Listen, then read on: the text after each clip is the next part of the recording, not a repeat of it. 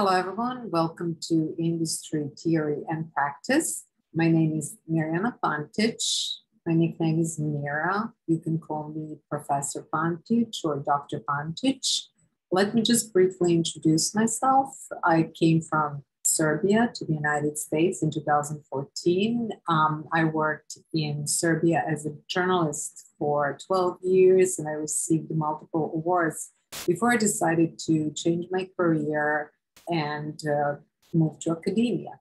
So in 2014, I came to the United States to get a PhD, and I obtained a PhD three years later from the University of Tennessee in Knoxville. Then, uh, the same year, I got a job at Pace University where I started teaching. I also do research in digital journalism and digital media in general.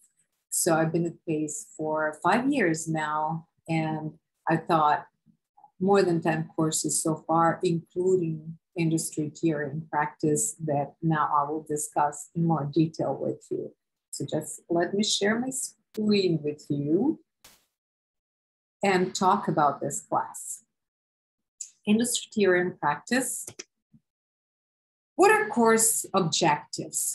We are going to study concepts and issues that relate to communication in the workplace also, we're going to study the process of social interaction in the online environment. One of the things that I will ask you to do is create and maintain an e-portfolio. So that is an electronic portfolio that will ensure you are showcasing your work both at pace and if you have an internship or a job and you would like to include your work and show show it to everyone else, you, you will have the opportunity to do this through this e-portfolio that you will create during the course.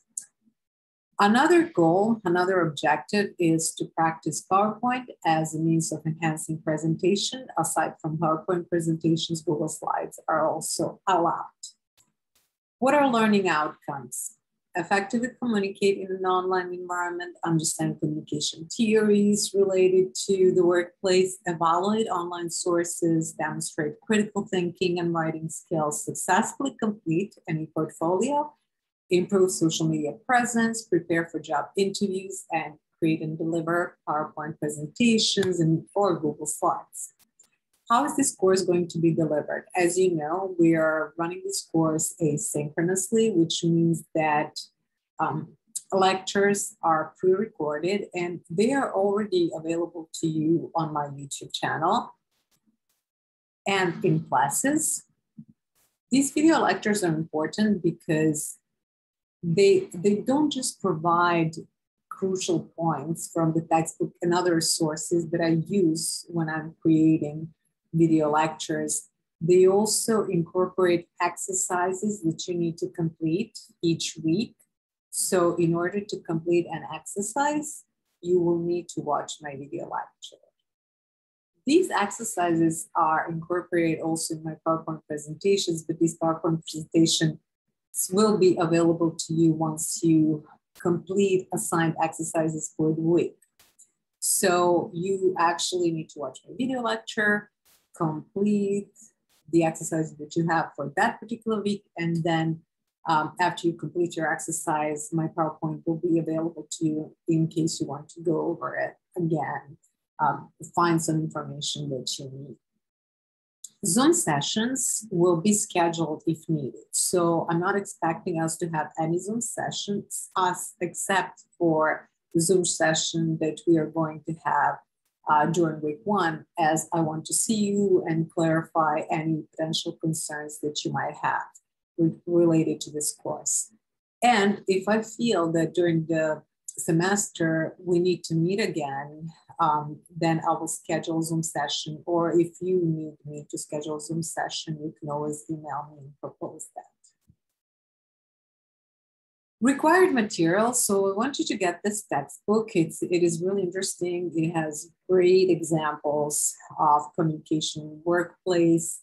So I really want you to have it for the course. And another resource that you need to use is Classes Learning System. Classes. Uh, I will go through classes later in this video and explain when you where uh, to find all the material for the course, where to post exercises, assignments, etc. All the material for this course will be posted in classes. And when you go to classes, you will click on table of content under content with the detailed agenda for every week of the semester. All assignments along with instructions and grade rubrics are already posted in classes and they're under assignments. So you can even today look at um, assignments and you will find instructions and grade rubrics and everything else you need for your final project, for instance, but also for other assignments. Exercises are explained in my video lectures.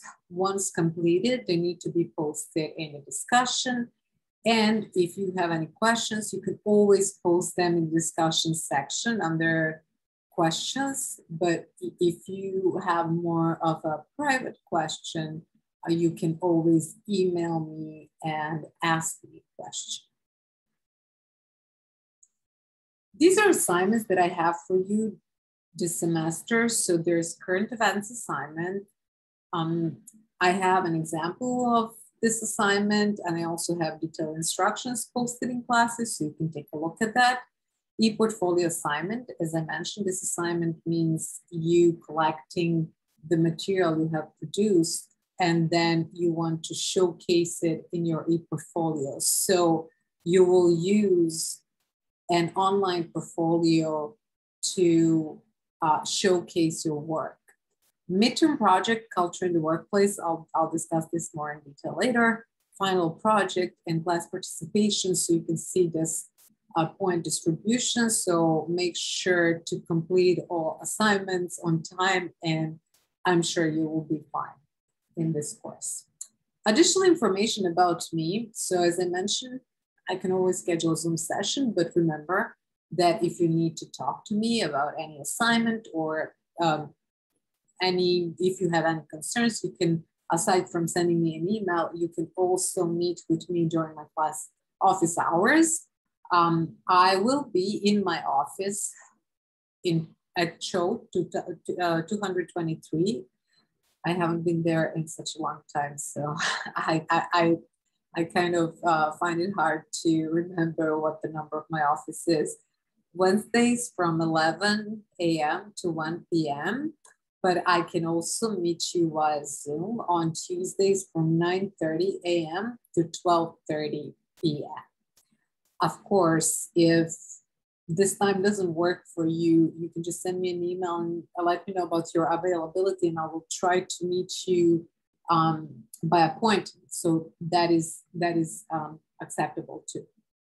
All assignments and exercises need to be submitted in time. Late submission will result in a 20 point grade reduction for that particular assignment. So please try to submit everything on time. Uh, one thing to remember is that my video lectures run from 30 to 90 minutes, and I would suggest taking a break every 30 minutes for a long lecture. So if, if my lecture lasts about 90 minutes, just break them into like 30 minutes, take break, uh, then watch another 30 minutes, etc. Uh, another thing that I would also like to mention is you will hear in my lectures me saying Blackboard, Blackboard, but that actually means classes. And the reason I'm telling you this is because when I recorded my lectures, we still used Blackboard for this course and other courses, but now we switched to classes. So just disregard that information instead of posting in Blackboard discussion board, you will be posting in classes discussion board. This is my email address. So if you have any questions, you can always reach out to me. I'm really looking forward to teaching this course, to learning from you and seeing your progress. Now, um, aside from the PowerPoint that I prepared for you today, another thing that I would like to go through is the syllabus for this course. So the syllabus is already posted in classes. I will show you where to find it. So in the syllabus, you will find more information about the course, such as you will find detailed course, course description, learning objectives and learning outcomes. But what is the most important about the course is that you will find a description, like a brief description of each assignment. So current events assignment, and then culture in the workplace. So for current event, you will basically um, find an interesting event that relates to one of the concepts that we discussed in class, and then you will explain that current events assignment, and you will also need to provide feedback to your peers on their current events assignment. More detailed description of this assignment is already in classes.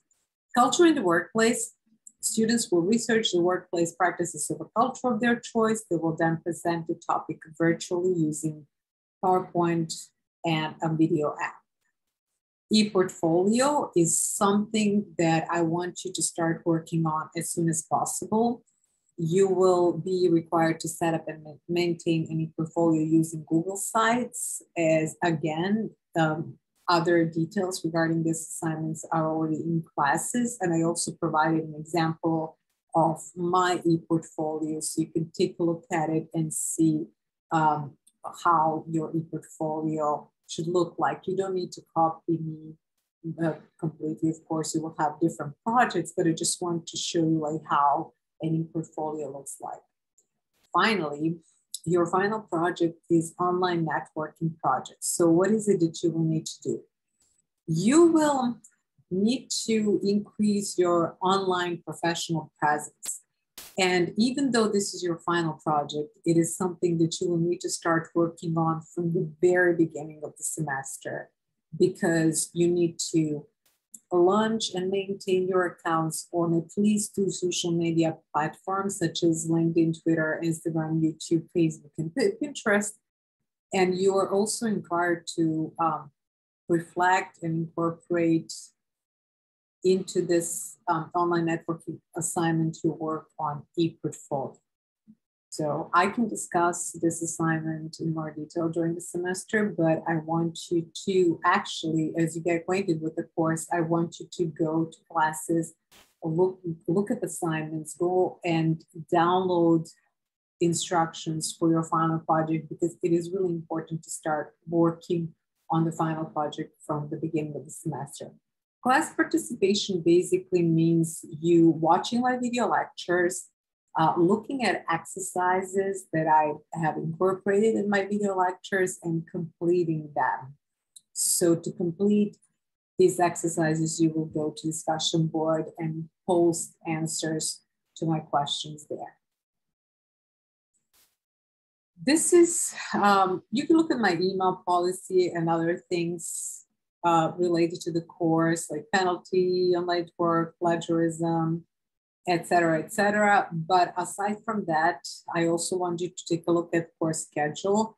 So this will really help you learn about um, the topics that we're going to cover, and it will also help you learn about deadlines for your assignments. So what are the exercises that we have to do? When is your um, assignment due? So as you can see, current events assignment is already due um, during week two. So what you want to do is to go to assignments, download instructions for current events, and make sure you complete this assignment in time. Sometimes um, some deadlines are on Friday, sometimes some deadlines are on Monday. So uh, when you uh, just make sure to uh, look, consult both the syllabus and consult both classes to see uh, what are your deadlines for each assignment or exercise.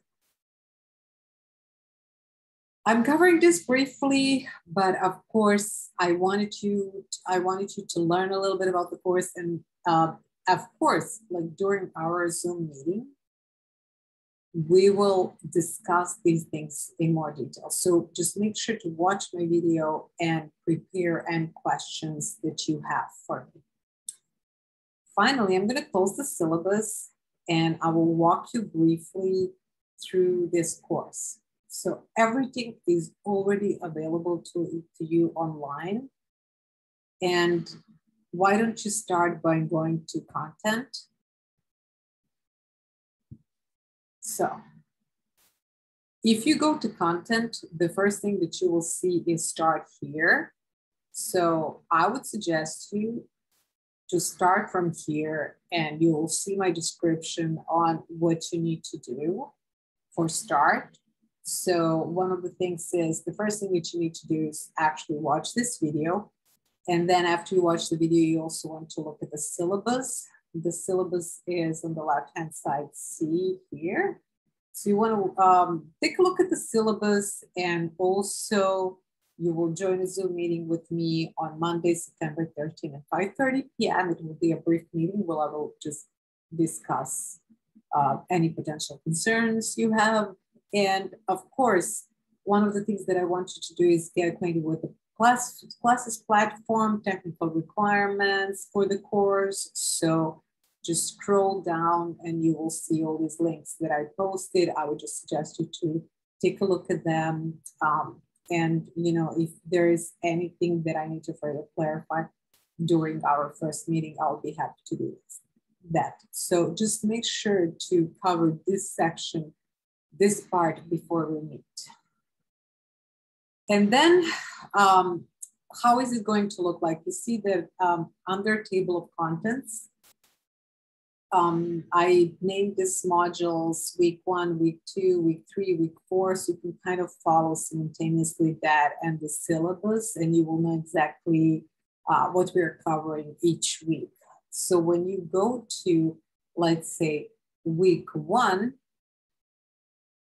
you will see that you need to join the Zoom meeting at 5.30. So I haven't posted the link to that Zoom meeting, but in the meantime, I will post the link. So don't worry about it. Uh, so what you need to do is just click on week one and you will find the Zoom, Zoom link for our meeting. And, and then um, you also need to download this PowerPoint presentation. If we go to week two, so after we are done with Zoom meeting and after you watch my video lecture on what my expectations of you for this course are, what you need to do is simply go to week two and I have a detailed agenda for you. So on, the only thing you, can do, you need to do is follow the steps. So read textbook chapter, chapter one, watch the video lecture communicating at work posted below, submit current events assignment by, and you will see the um, when when is your due date for the assignment, post current events assignment feedback, um, complete the identity management exercise, and then the PowerPoint will be available to you after you complete this exercise. So if you scroll down, so you, can see the agenda is here, step by step, what you need to do. And if you scroll down, you'll find the links for everything mentioned in the agenda, except for um, read textbook chapter one, two, three, et cetera, et cetera, because it's uh, it's a physical textbook that you will need to get. So that will not be um, listed here among these links, but everything else you will find in that specific order. So watch video lecture, submit current events assignment, post feedback, etc., etc. So here it is. This is the link to my video lecture. This is the link to your first assignment. This is the link to your exercise. You just need to scroll down and you'll find everything. Let's go to week three and see how it looks like. Same thing, read textbook chapter, watch video lecture, complete the following exercises. And then if you scroll down, just go one step at a time and complete one thing, the next thing, next thing, and you see, you'll find everything you need listed here. Now, this is your content and i would suggest you when every week that you just you can just go and see what is due and start working uh, and start working on it. Just try to cover you need to actually cover each step listed here what are other important folders that you need to be aware of? So let's say if you go to syllabus, you will find the syllabus for this course. You can download it. Another thing, if you go to activities and click on assignments, it will take you to assignments. This is where you will be submitting your assignments. So let's say current events assignments is actually current events assignment is the only assignment that you will not submit here. Current events is the only assignment that you will actually need to submit in the discussion board. What is the reason for this? Well, basically, you need to submit it there because students will be posting feedback to your assignment. So for them to see your assignment, it has to be posted in discussion. So that's why this assignment is different from all other assignments. When it comes to all other assignments, you will be posting them in, um, you will be posting them here. I'll, um, if you, let's say, if you look at midterm project culture in the workplace, um, you, and if you go to that assignment and you will find files such as assignment instruction and grade rubric. So just make sure to download these files, like go through them, make sure you understand every assignment. And of course, if you have any questions, you can always email me.